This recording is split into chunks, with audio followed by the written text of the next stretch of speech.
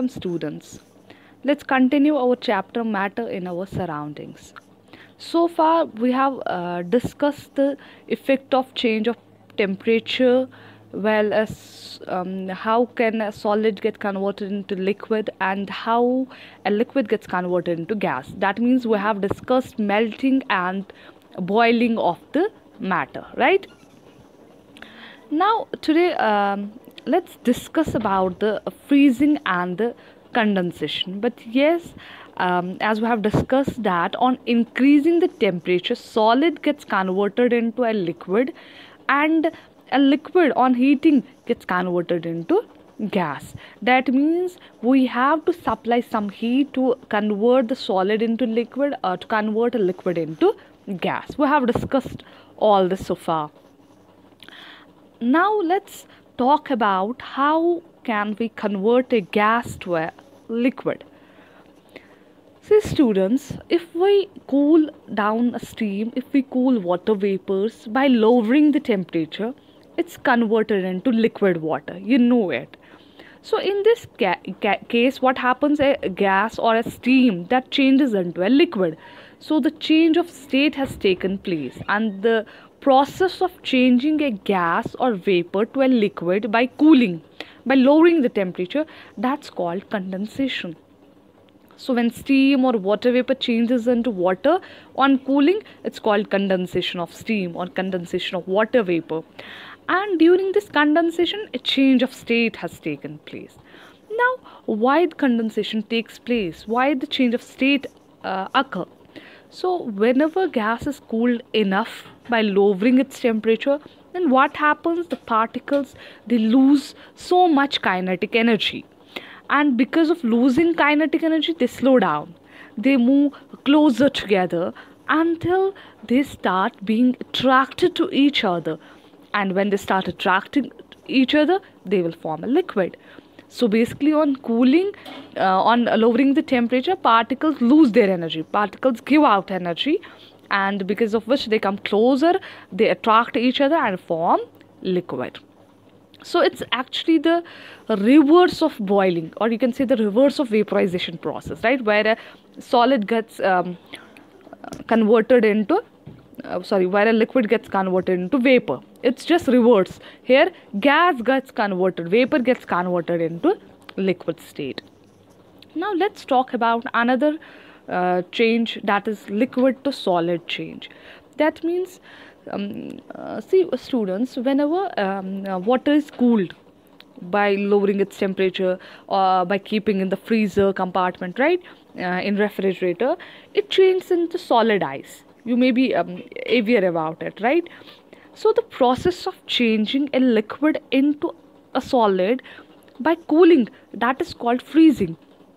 So when water is cooled it gets converted into a solid state. It forms ice right? And this is freezing of water. In fact freezing you can say freezing means solidification. When water freezes to form ice then there's a change in the state liquid state of water changes to the solid state. It becomes ice. And this is actually the reverse of melting. In melting you know that the solid gets converted into liquid. Here the liquid gets converted into solid. And the freezing point is the temperature at which a liquid freezes at which a liquid forms a solid at atmospheric pressure. And the freezing point of a liquid is same as the melting point of the solid say uh, melting point of ice is 0 degree celsius right? So the freezing point of water will be also 0 degree celsius. So a change of state occurs during freezing. Now why? What happens in this uh, freezing? So basically when a liquid is cooled when temperature is lowered particles lose energy because of which they move slowly. And if the liquid is cooled enough uh, say, uh, say up to freezing point then what happens each particle stops moving and vibrates about a fixed position. They start vibrating at their positions and at that stage liquid freezes and becomes a solid. So basically by cooling particles lose again energy. They will give out their energy and they will start moving slowly. And when it's cooled enough at like uh, up to freezing point then particles stop moving. They just start vibrating at their positions and forms the solid. Okay? So from this uh, from the all discussion we can say that the state of matter can be changed by changing the temperature. That means by heating or by cooling. Now comes the another important thing. See students most of the solid substance when they are heated they first change into liquid and then into vapors or gas and uh, the vapors on cooling first forms a liquid and then a solid right? But there are few solid substances which change directly into vapors or uh, gas on heating. And the vapors they give back solid substance on cooling without passing through liquid state. And that change of a solid directly into vapors on heating and of vapors into solid on cooling. It's known as sublimation. So where a solid gets converted into directly into vapor or the vapor gets cooled down into solid that is sublimation. So sublimation two things are in sublimation that changing of a solid directly into vapor and the changing of vapor directly into solid. Okay? And the um, solid substance which undergoes sublimation is said to sublime and the solid that is obtained by cooling the vapors that is called sublimate in both the cases solid substance is known as sublime and sublimate but yes sublime is where a solid gets converted into vapor and sublimate is where the solid is obtained from cooling the vapors. So we'll have an example of uh, sublimation. Let's talk about, uh, let's um, have an experiment. Uh, we are having ammonium chloride that undergoes sublimation or you can have um, camphor that also undergoes sublimation. Uh, let's take solid ammonium chloride. And when the solid ammonium chloride is heated, it directly changes into ammonium chloride vapors without passing through liquid state. And when hot ammonium chloride vapors are cooled they directly change into solid ammonium chloride again without passing through the liquid state so sublimation occurs not in all substances but it occurs only in few substances so it's a very rare process. And the common substances which undergo sublimation are ammonium chloride iodine camphor naphthalene and um, anthracene.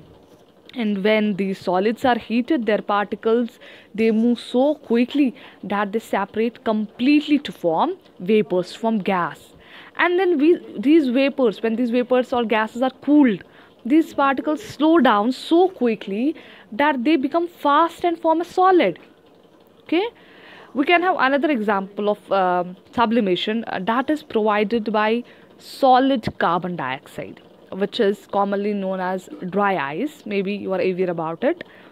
Um, you have seen um, uh, the special effects on stage somewhere. So there it's actually dry ice, solid carbon dioxide, which sublimes on heating and is used to create special effects on so stages. Okay. So the solid carbon dioxide or dry ice sublimes to form carbon dioxide gas. Okay and in fact in many households uh, we, uh, we use many small naphthalene balls they are kept in um, uh, stored woolen and silk cloths to protect uh, the clouds from attack of moths and other insects. And it is noticed that these naphthalene balls disappear with time without leaving behind any residue. How? Where the naphthalene balls goes? So basically naphthalene balls undergo sublimation. And the naphthalene balls keep on forming naphthalene vapors slowly which disappear into the air. Okay so we are having a lot of applications of sublimation. These are useful in purification of solids which sublime on heating and contain non-volatile impurities. And in fact in very cold place snow doesn't melt but sublime directly to vapor. That snow is actually solid carbon dioxide in frost-free refrigerators, ice on the wall of the freezer sublimes when warm air is circulated through the compartment during the defrost cycle. why? Because that frost free uh, that um, ice that is on the walls of the freezer that sublimes that directly changes into vapors. So we are having a lot of applications of sublimation. Now we can have we can show you um, here it is the interconversion uh, between three states of matter solid liquid and gas with the help of this states of matter triangle. It's shown here. You can see that the states of matter are interconvertible. They can be changed by changing the temperature or pressure.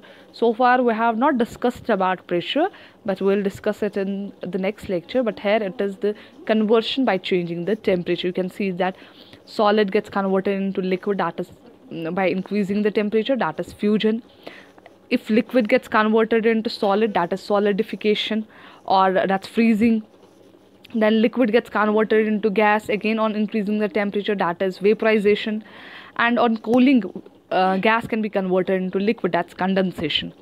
And if solid directly changes into gas that is sublimation and again if gas gets converted into solid that is again sublimation or you can say solidification uh, or deposition. So this is all about the interconversion interconversion of the three states of matter by changing the temperature